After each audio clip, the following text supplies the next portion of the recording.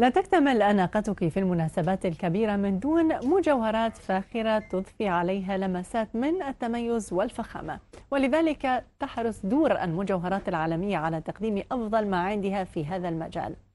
ضيفتي في الاستوديو أخصائية المجوهرات سعاد المغراوي. ستعرفنا أكثر على عالم المجوهرات وتصاميمها. يسعد صباح السعاد أهلا وسهلا بك ويانا على ماذا تعتمد اختيار التصاميم في المجوهرات؟ تختار على على الأناقة والأسلوب. والشكل التصاميم.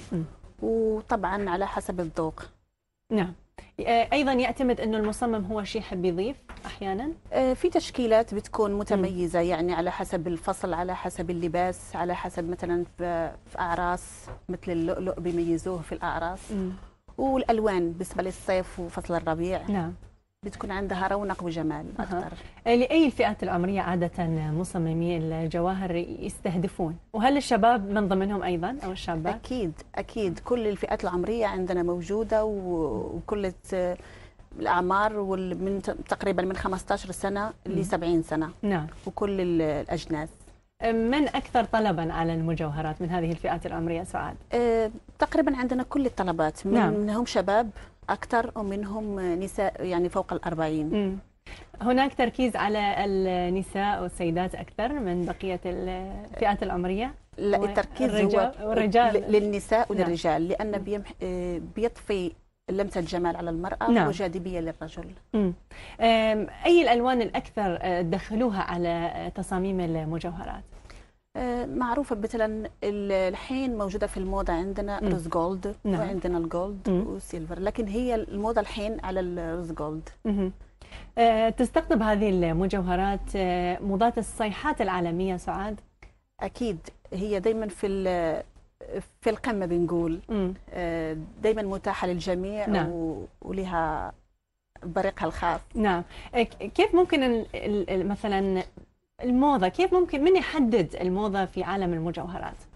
آه، يعني هو الناس هم اللي يحددوا الموضة. م. على حسب على حسب اللباس على حسب نعم. الأجواء. نعم. يعني مثلا تلبسي لبس لازم تحطي عليه شيء مودرن شيء آه عنده جاذبية. أها.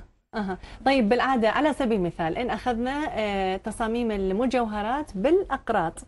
عادة آه، تنصحون الزبونة آه، مثلا لما تيجي أنه إذا كان وجهها دائري إذا كان وجهها طويل أي التصاميم تناسبها أكثر؟ أكيد. بالنسبة م. مثلا الوجه الدائري نوريها شيء يعني مثلا مبين يعني يبين كثير يعني تكون فيه تشكيلة. نعم. وبالنسبة للوش الحنيف لازم تكون فيه شيء آه، رقيق نعم. يعني نعم. ببين آه، طريقة الوش نعم. يعني تعتمد على الوجه الوجه طيب أيضا ممكن المجوهرات والتصاميم تدخل في الساعات سعاد أكيد م. طبعا كل تصاميم عندنا فيها من ساعات. باللؤلؤ والجلد نعم. معروفة يعني عندنا كثير براندات م. معروفين كثير أه. إسباني إيطالي فرنسي مم. ياباني طيب آه مثلا للأطفال للمواليد الجدد هل هناك تصميمات معينة لهم؟ لا إلحين ما عندنا تصميمات للأطفال نعم. يعني سن يبتدأ من 15 سنة أه. لغاية 70 أها.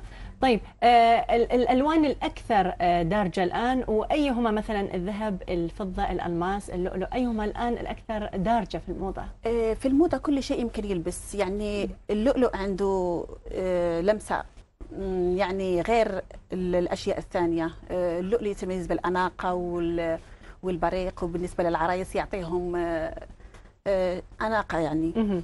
وبالنسبة للألوان الأخرى أي واحد على حسب الذوق. ذكرتي العرائس خلينا نتكلم أكثر عن العرائس الموضة الآن بالنسبة للعرائس ما هي بالنسبة للمجوهرات؟ بالنسبة للمجوهرات هي موضة تقريبا عالمية. يعني كل واحد يلبس على على الأذواق على الذوق بتاعه. آه، بالنسبة للألوان بالنسبة للتشكيلة على كل الأذواق. آه، أيهما الآن الأكثر طلبا؟ المجوهرات اللي تدخل بها الألماس سعاد أو مثلا الأحجار بأنواعها؟ أكثرية بالأحجار. مم. الناس تطلب كثير بالأحجار آه، لأنها فيها لمسة لمعة وبتضيف يعني نظارة مم. أنواع الأحجار المطلوبة. هناك الكثير من الأحجار. الأحجار الطبيعية واللي فيها ألوان. يعني مثل الأحمر مثل الأخضر. آه، كل الأحجار الطبيعية. مثل يعني الشيء اللي بيبين أكثر مم. بالأحجار عادة سعاد الزبون أو الزبونة يطلبون التصاميم الناعمة أم التصاميم الكبيرة اللي تبين الحجر وتبرزه آه، في الأشياء الناعمة أكثر. لأنها بتعطيها لمعة خاصة. بتعطيها شكل آه، يعني آه، بنقول كلاس.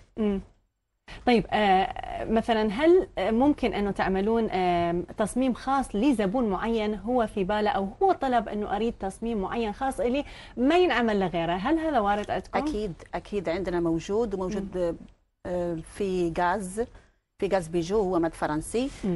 بنعمل قطعة واحدة وتكون في آه، في- يعني قطعة واحدة اللي بنعمل في في ال بالنسبة. للزبون ما يلقى مثلها يعني في السوق. وهل هناك مثلا ورقة آه، ممكن إنه شهادة معتمدة ممكن تخليه هو يكون مرتاح أكثر إنه ما ممكن يلقي في السوق مثل هذه القطعة اللي هو طبعا اشتراها طبعا أكيد. بنعطيه شهادات وضمانات وكل شيء في المنتوج بتاعنا عشان يكون مرتاح و... ويستعملها وهو مرتاح أها. طيب ال- الأكثر طلبا لهذه ال- القطع الفريدة خلينا نقول هل هم رجال أم النساء؟ أكثريتهم نساء مم. أكثريتهم نساء لأن النساء انت تعرفي يحبوا يلبسوا القطعة ما يلقونها في شخص ثاني صحيح آه، طيب نصيحتك لكل امرأة ورجل يحبون اقتناء المجوهرات نصيحتي أنهم يلبسوا المجوهرات لأن هي الكمال لل- للمرأة والجمال وبالنسبة للرجل تعطيه جاذبية أكثر. آه، طيب بنهاية حديثنا نقدم لك شكرنا الجزيل على كل هذه. النصائح والمعلومات. كانت معنا في الاستديو. أخصائية المجوهرات سعاد المغراوي.